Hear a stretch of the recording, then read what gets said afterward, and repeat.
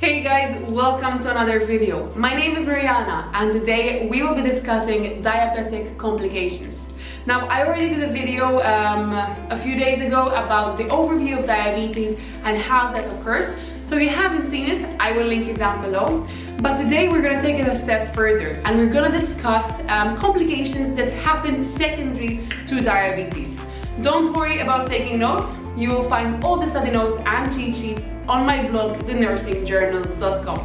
So let's get started, okay? Today we will be discussing acute diabetic complications, right? And what I mean by acute diabetic uh, complications is that these situations are things that are gonna happen within a few minutes, okay? And if you do not take action right away, these be life-threatening situations, right? And there are three, um, there are three main problems that can happen. So the first one over here, this is hypoglycemia, okay? Then we have the second one here, this is diabetic ketoacidosis, and our third one, which is hyperglycemia, hyperosmolar state, okay? And all of these issues are gonna be very serious and you're gonna have to take immediate action. Let's take them one by one. The first one, hypoglycemia. So what hypoglycemia is, is basically a very low blood glucose level. Now, how do we check the blood glucose? Well, we have our blood glucose monitor here, okay? You prick the patient, get some blood, and from the blood, you will be able to tell your patient's blood glucose level. Now, our normal level is anywhere between 4 to 8 millimoles per liter. Anything more than that is too high, anything less than that is too low.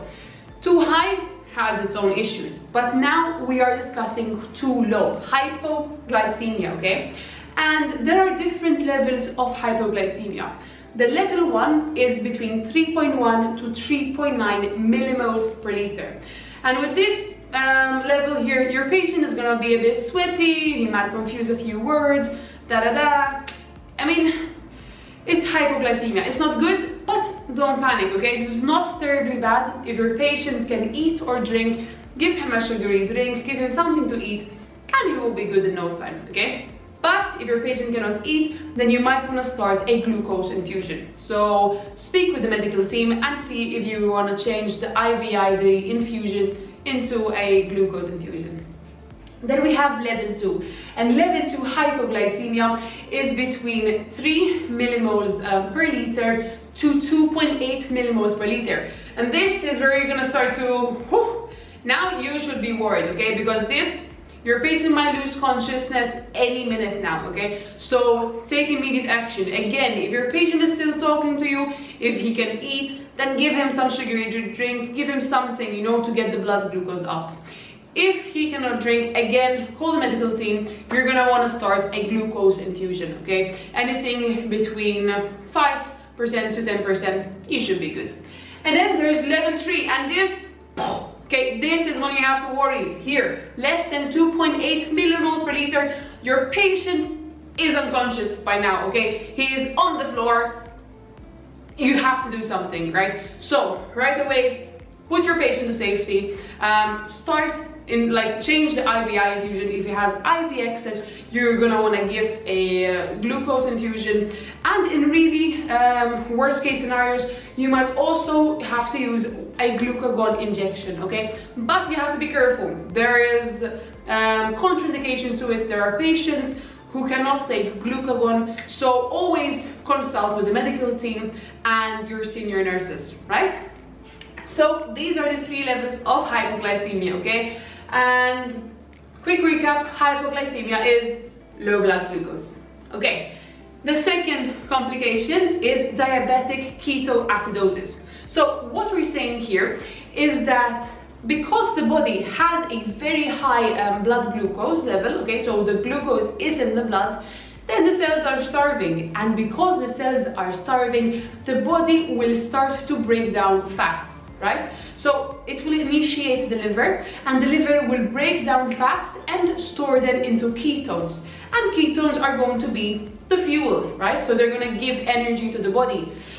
But ketones in the blood make the blood very acidic. And if you're wondering, acidic blood is not good at all, okay? That is gonna cause a series of complications. So you don't want that, okay? We're not gonna talk so much about it. All you have to, to know up until now is that diabetic ketoacidosis is caused by the breakdown of fats into ketones and ketones cause acid. Now, the final complication, okay, we have hyperglycemia, hyperosmolar state. I try it finally. and with this complication here, what happens is that your patient has most likely had a high blood glucose level for quite a few days, okay? And as we said in the other lecture, glucose is osmotically active, so it attracts water, right? And because it attracts water, your patient is gonna pee a lot, okay? Like a lot. and if your patient is gonna pee too much, then that is going to lead to dehydration, and dehydration can cause confusion, can cause a lot of problems, okay? So again, that is going to be another life-threatening situation. And that's it. Those are the three main acute complications of diabetes. Let's recap. Number one, hypoglycemia, low blood sugar. Number two, DKA, um, ketones from fats, which are gonna make your blood acidic. And number three, HHS. This is going to cause your patient to pee and be dehydrated. Thank you so much for watching. I will make another video explaining the chronic complications. In the meantime, go check out my blog, thenursingjournal.com. There's all the study notes and cheat sheets over there. And if you want to keep updated, subscribe to my channel, hit like and follow me on my social media. So thank you again and until then, take care, happy studying.